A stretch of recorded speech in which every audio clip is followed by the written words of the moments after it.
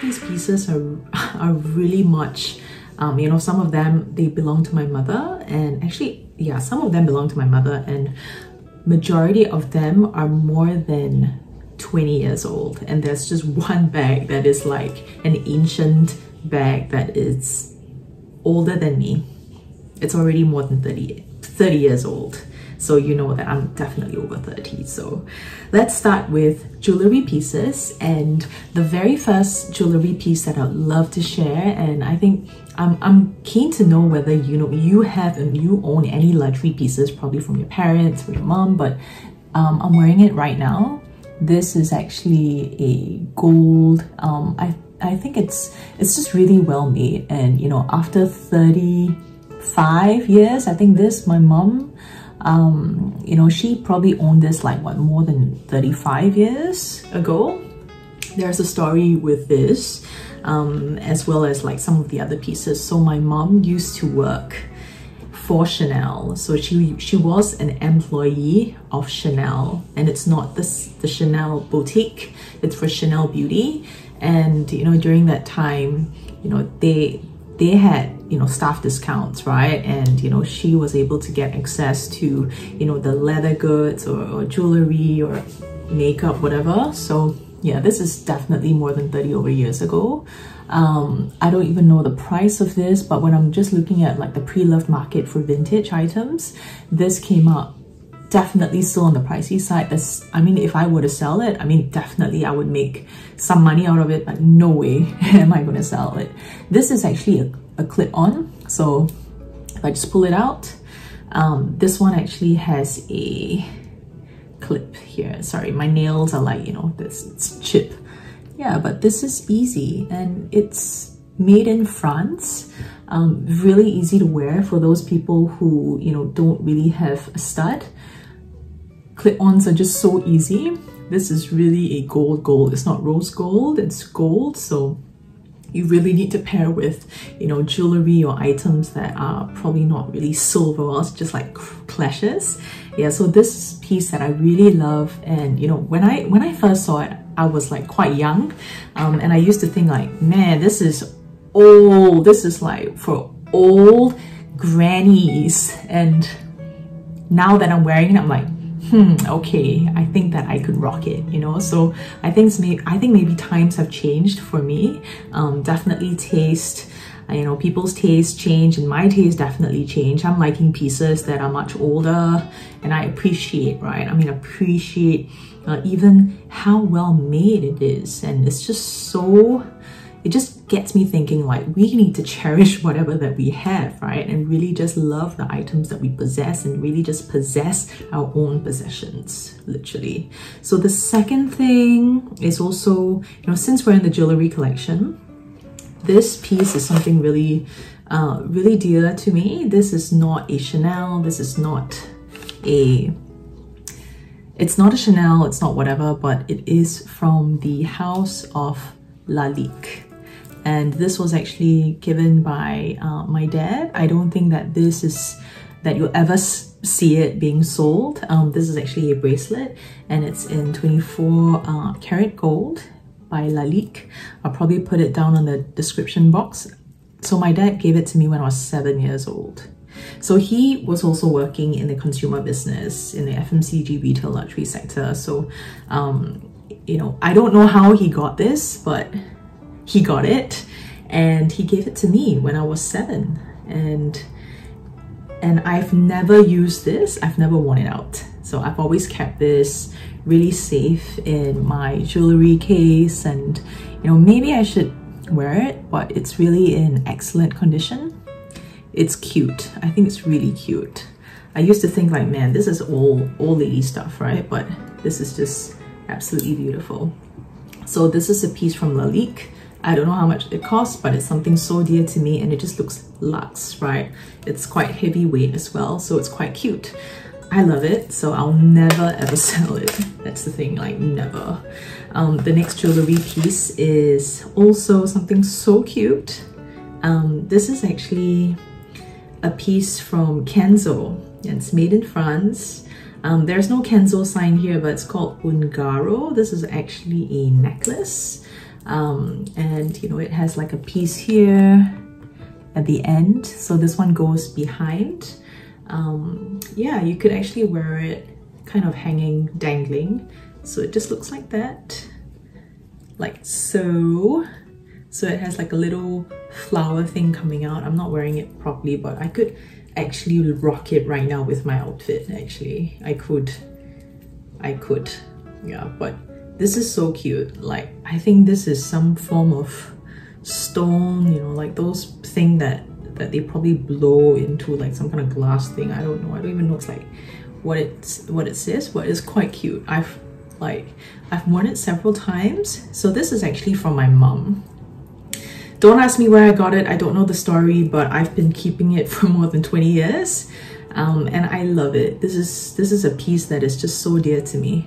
You know, I really, really like love this piece. It's absolutely stunning. It is cute. And I think it's really whimsical. It is one of a kind.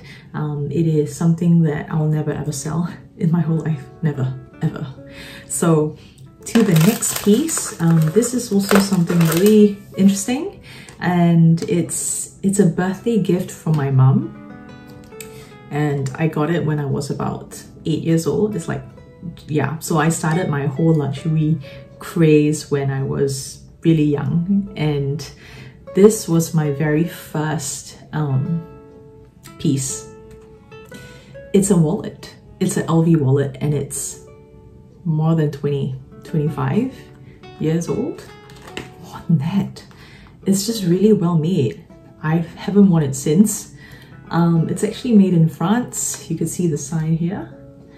There's a little bit of chipping going on over here and over here. This has gone with me through thick and thin. Um, this has literally literally dropped into a, a toilet bowl before yes, it has dropped into a toilet bowl and I've revived it. So yes, probably you guys would have a lot of crazy stories to share about your own um, luxury purchases or some history about things that you probably have, but I'm just interested to know your um, your story.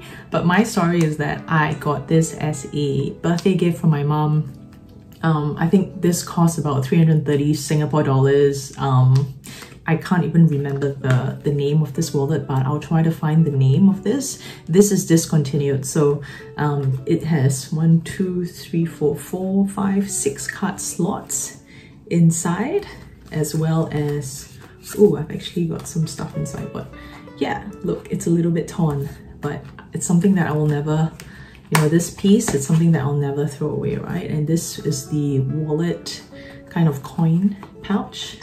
But I love this. I remember, um, so my mom also works in the luxury retail sector, used to, used to, right? I mean, she came from Chanel and all that. So she, um, this is a story, like I knew that, like I loved going into LV when I was young. Like I love, like I used to always visit her, right? I mean, she would be in the storefront, like she would be literally there and um, I would I would visit her. And you know sometimes you know when she's off of work you know we'd just go to you know the luxury store together. We'd visit Chanel we'd visit um, Dior LV LV was really my first love. Um, this is really my very first luxury piece I ever have. So yeah probably I'll do another probably a video on why, you know, why and when I first got started into luxury, but my love for an appreciation for the history, you know, the, the brands and the legacy of these fashion houses are, you know, I've just a huge appreciation for, you know, luxury houses and yeah, they just started when I was really young. So that's it guys and the, the number one most craziest uh, older than me piece would be this um, beautiful Chanel piece. And this is a medium um, medium Chanel like small medium right? And you probably can't see it you know a lot. And I don't I don't really see this a lot in the vintage uh, market I had to get this fixed because so my mom didn't really take care of the bag. Um, if you see inside, this piece has, it used to be like burgundy, but she kept it in a, she kept it in a cupboard and literally inside it was like melted, like it was peeling off. So I think when she took it out after like five to eight years of not using the bag, she took it out and when she opened it, it literally made like a sound because the leather was sticking to each other. And she got it repaired internally. And over the years like i think two years ago um you know this collapse i literally like i had to repair it because it couldn't collapse well. This one is actually a button closure. It states um yeah this is actually a not a L like not a Chanel one that's kind of stuck into it it was it's just like an overlap but it's still in really perfect condition. If you look at the clasp, it's a bit different from the current uh, ones. There is actually like a little dot here. I still don't know what this means. I need to check it out, but it's still in really perfect condition. The straps, I would say that know, after owning a few um, modern pieces of Chanel versus like the older ones, the the older versions of Chanel, they're much more better quality as compared to to, you know, the, the older version. So this is actually a piece that's a bit short. So I could only wear it as a shoulder piece, like a shoulder kind of thing, right? I can't kind of put it around here. But what I could do is that I could shorten the strap, um, you know, to, so the strap is here. It has this part and the thing about this kind of piece, right, is that it whenever it kind of, just look at it, it kind of rubs into it. So over time, if you use it, this piece, you know, this, this actually get, get um, kind of there's abrasions going on. So that's why I don't really use this piece a lot. Use this piece only um, for special occasions when I'm going for like wedding, but most of the time I'd keep it in a dust bag, in a Chanel dust bag. So um, how I take care of my luxury goods is that um, this room is the only room that I store all my luxury pieces.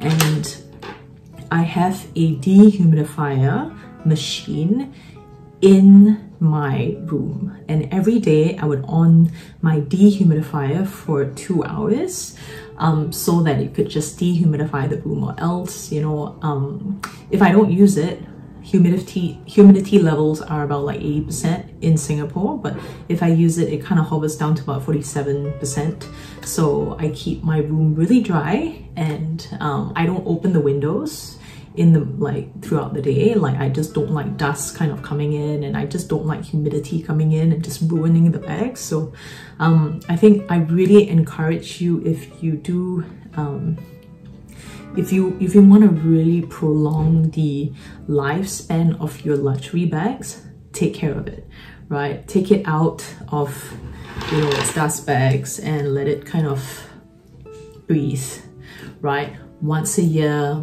once every six months i will do um, some cleaning and conditioning of the leather.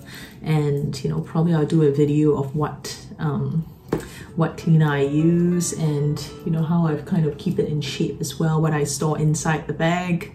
Um, there are a lot of perhaps things that you can store. You don't really have to spend more money to to put stuff in your bag really. I mean there's many ways of how you could really retain the shape of the bag. Um, the side of this this one is kind of it had to be remade again because you know my mom literally you know she didn't really take care of her bags and um, this and there's a few other bags that she's like sold already but um, this is one bag that you know she's left for me and yeah this is just a beautiful piece. This is really an older than me piece and still in perfect condition so yeah that's it guys.